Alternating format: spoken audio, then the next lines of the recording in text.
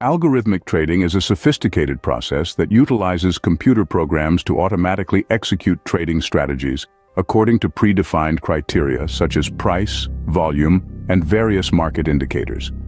Traders, or quantitative analysts, develop algorithms or trading strategies by considering various factors like technical indicators, statistical models, and market trends. Once a strategy is conceptualized, it's translated into code written in languages like Python or C++, tailored to the specific platform and requirements that the trader or developer is using at the moment.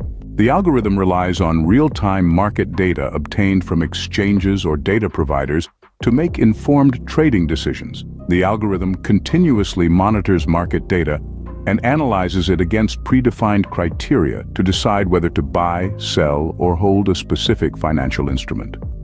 Upon decision-making, the algorithm generates orders and sends them to the market through the trading platform's API, aiming to execute trades at the best available prices. Risk management is a big key factor to all automated trading systems, and in order for any algorithm to be successful, it must have effective risk management strategies in place, such as trade size limits or stop-loss orders, and many others that can play a very crucial role in mitigating potential losses.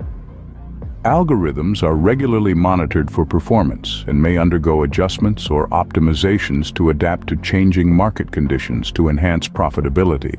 High-speed execution is vital in algorithmic trading to capitalize on fleeting market opportunities, necessitating robust infrastructure and low-latency connections to exchanges.